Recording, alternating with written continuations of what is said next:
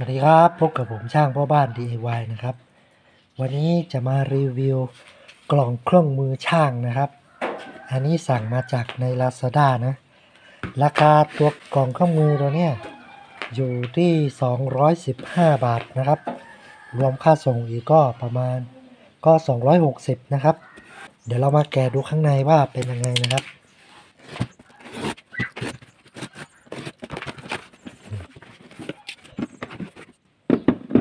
นะครับ ตัวนี้เป็นยี่ห้อ Total นะครับ ตัวตัวล็อกตัวนี้จะเป็นเหล็กเป็นอลูมิเนียมนะ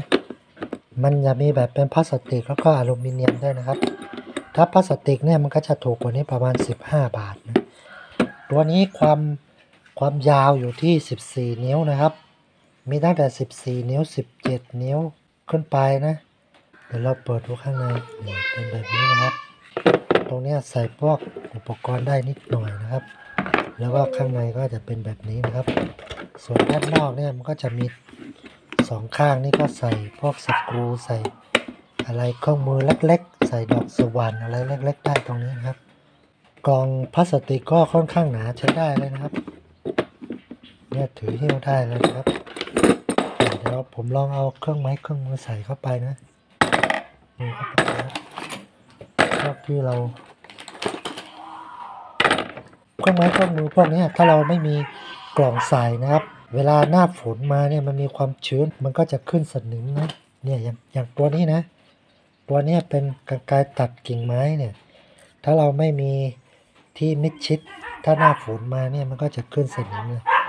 ตอนหน้าฝนนี่สนิมเต็มเลยนะครับ พอหน้าร้อนแล้วเราก็ฉีดน้ำมันเครื่องใส่เข้าไป น้ำยากันสนิมมันก็จะลดลงหน่อยนะ แต่ถ้าเรามีกล่องใส่เนี่ยมันก็จะอยู่ได้นานขึ้นนะครับสนิมมันก็จะไม่ค่อยขึ้นเท่าไหร่นะก็สไปเดอร์สไปเดอร์แมนเออก็ข้างบนนี่ก็ใส่พวกของจุกจิกเล็กๆน้อยๆนะครับ หรือว่าตัวไหนที่เราใช้บ่อยๆ แล้วก็ใส่ไว้ข้างบนนี้